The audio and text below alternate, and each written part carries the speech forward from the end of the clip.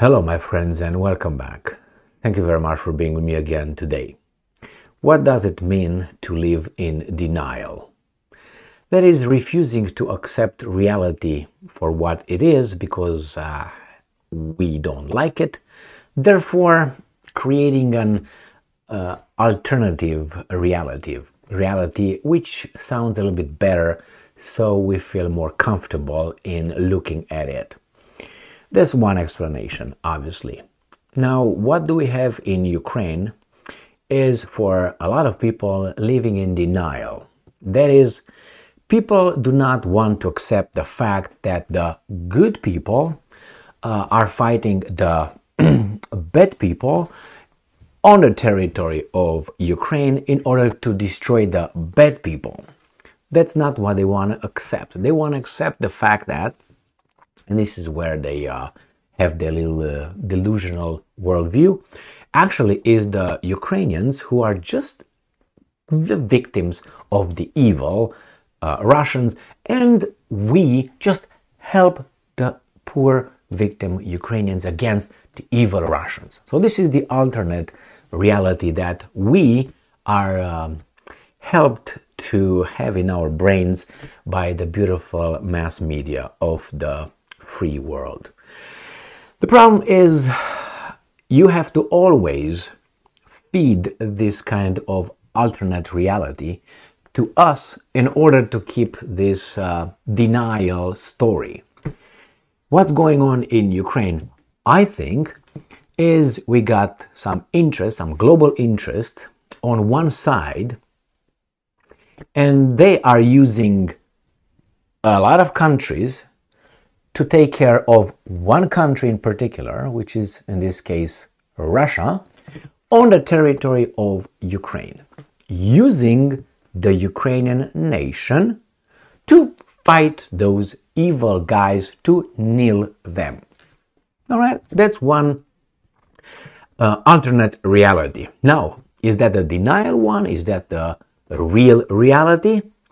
It's up to you to look into it. I said this um, a few times already, and uh, I was just trying to make it sound nice. But it's not that nice because it seems like it's going to get to that point. And this is the point I was making. I said a few times that after the Ukrainian nation, the Ukrainians, yeah, those guys, uh, will cease to exist on the front. They will be decimated by the Russians, little by little, and the Ukrainians will obviously kill Russians as well, but the Russians are more numerous than the Ukrainians. After Ukraine will have no more Ukrainians to fight, those guys, the interest, will pick another country that will take the torch from the Ukrainians and use their nation to fight the Russians for them.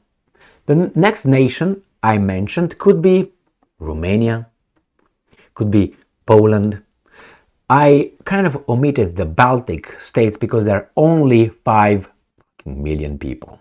All right? So those three countries with big mouths, there are only 5 million people. That is half of a regular city. So that could be just uh, be taken care of very quickly by the Russians. So that's why I ignore those. But the Poles are almost, uh, what, 40 million.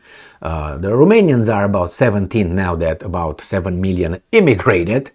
Uh, and some are in uh, Moldova, 2.5 million or so, or so. Used to be 4 million, but hey, they immigrated as well.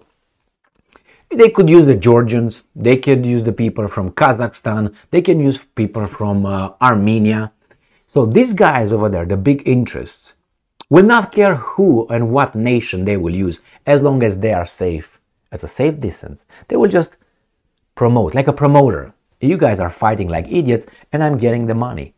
I'm going to make the bets, I organize the whole thing, and you guys fight.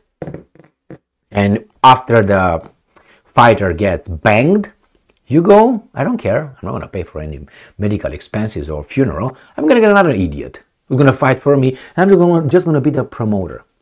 This is what it seems, it seems, the word is seems to happen right now about this uh, Russia thing, not Ukraine. Ukraine is just one nation that will be taken care of and then these guys will pick another one. I have here an article that makes me, you know, um, how should I put it? Uh,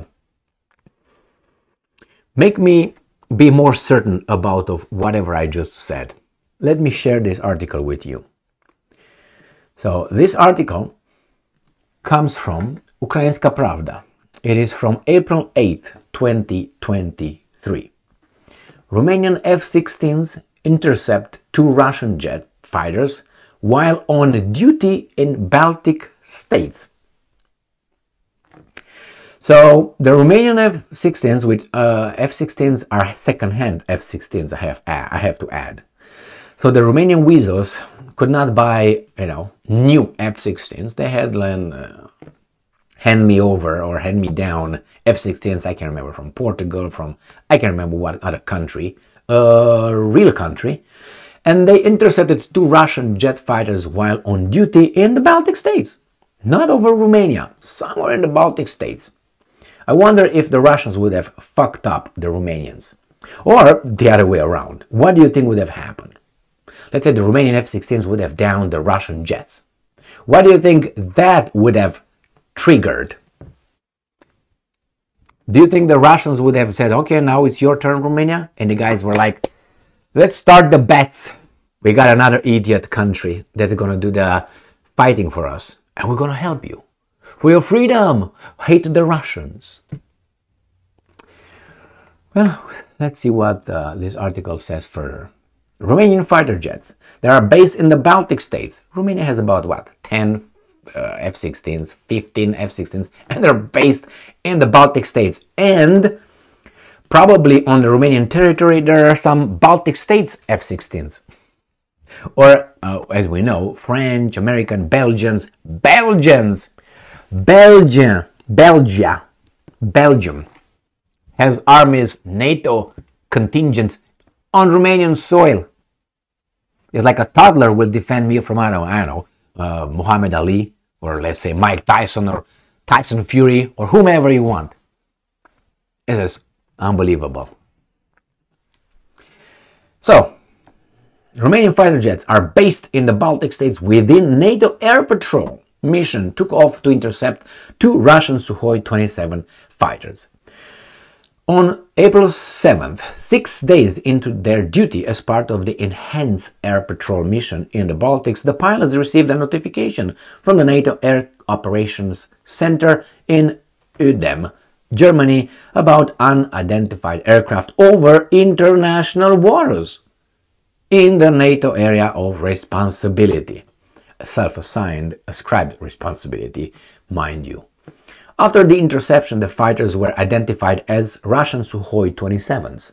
Romanian pilots accompanied them to the exit from the area of responsibility of the alliance. During just one week, at the end of March, fighter jets of the NATO mission in the Baltics took off six times to escort Russian planes that violated the rules of flight in the international airspace over the Baltic Sea. What do you mean? If it's international airspace, fuck off. I thought, but hey, the rules of flight uh, set by whom? If it's international airspace, airspace. Well, I don't know details. This sounds like the Russians are the aggressors, and we're gonna buy it because that's the uh, alternate reality we are supposed to have. So you can live you, the ones who live in denial, thinking that, hey, it's just, uh, you know, the Russians attacked, um, un- uh, how do you call it, unprovoked uh, Ukraine because the Russians are just bad and they want to expand their territory because they are imperialistic powers with a stupid mentality. You know, you can have that. You can have that. That's living in denial if you know that's more to that, that would change the whole paradigm of this little narrative. Well, I'm waiting, my Romanians. I'm waiting. I hope it doesn't happen. And uh, it could happen. One of these pilots make a mistake, down the Russian plane, or vice versa, or both. They shot at one another. They just get damaged. And what do you think will happen? The big, how do you call it, uh, promoters of war will say, Ukraine is almost done. No more Ukrainians to be blown up. Let's get now the Romanian nation. And after Romania, that's Bulgaria. And after Bulgaria, that's Poland. All right, well, we'll see, my friends. We'll see. Thank you very much for being with me again today. Stay strong, stay smart, look for the truth, and be just.